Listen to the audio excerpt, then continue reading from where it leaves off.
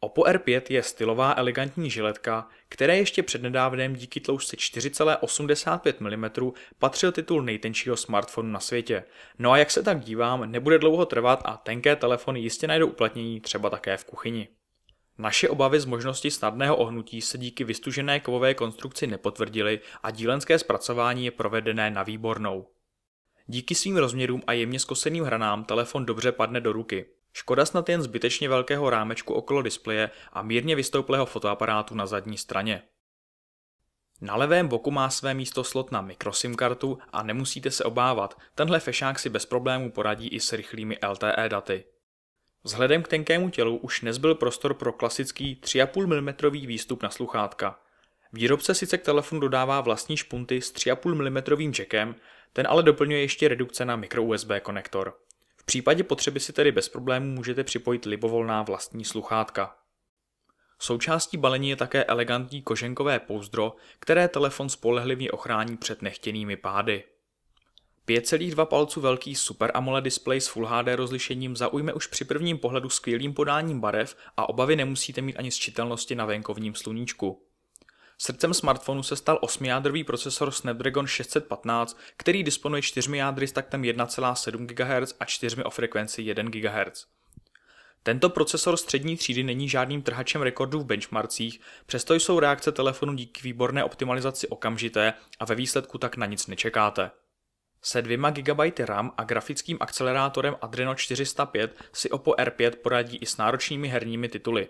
Při vyšší zátěži se ale telefon v oblasti fotoaparátu celkem nepříjemně zahřívá.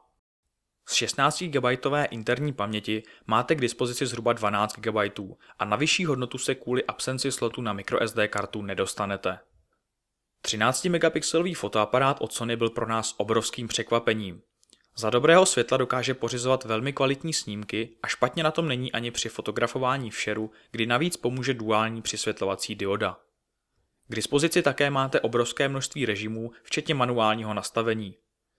Video lze nahrávat maximálně ve Full HD rozlišení při 30 snímcích za vteřinu a i v tomto případě jsou výsledky více než ucházející. V budoucnu by měl navíc výrobce uvolnit aktualizaci, která přidá podporu pro 4K video při 30 snímcích a Full HD video při 60 snímcích za vteřinu. Fotit i točit R5 zkrátka umí a velmi slušné výsledky nabízí také přední 5 megapixelová kamerka.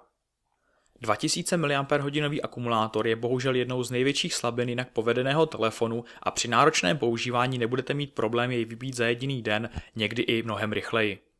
Díky technologii VOOC lze telefon naštěstí poměrně rychle nabít. Za 30 minut se dostanete na 75% kapacity a do 45 minut máte telefon nabitý úplně. Oppo R5 běží na Androidu 4.4 KitKat, ale v praxi to příliš nepoznáte, jelikož jej celý překrývá povedená nadstavba ColorOS 2.0. Její vzhled lze snadno měnit díky dostupným tématům, fanoušky čistého Androidu potěší alespoň možnost přepnutí do základního Jelly Bean vzhledu. Kromě pokročilých možností nastavení se prostředí pišní také podporou nejrůznějších gest. Telefon lze například uspat dvojitým poklepáním na klávesu s domečkem nebo jej probudit dvojklikem kdekoliv na displeji. Hlasitost lze regulovat nejen tlačítky, ale také tahem dvěma prsty po zobrazovacím panelu. V případě, že chcete při vypnutém displeji rychle spustit fotoaparát, stačí prstem provést gesto ve tvaru kolečka. Další gesta lze pak využít pro spouštění vámi požadovaných aplikací.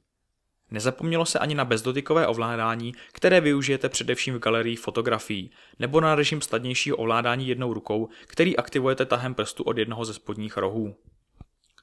Color OS je sice robustní nadstavba, ale jako celek funguje velmi dobře a v jednotlivých nabídkách se snadno a rychle zorientujete.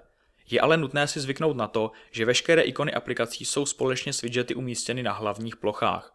V současné verzi ještě nejsou do češtiny kompletně přeloženy všechny položky, ale to by se mělo brzy změnit. Oppo R5 se zatím v České republice oficiálně neprodává, ale možná se v průběhu tohoto roku dočkáme změny. Prozatím ji lze objednat ze stránek opostyle.com, kde vás i s poštovným vyjde na 399 euro, což je zhruba 11 500 korun. Za tuto cenu dostanete velmi originální smartphone, který se díky tenkému tělu a celkově povedenému designu odlišuje od ostatních a rukopis značky Oppo v něm poznáte na první pohled. Škoda snad jen slabší výdrže baterie a absence slotu na paměťovou kartu.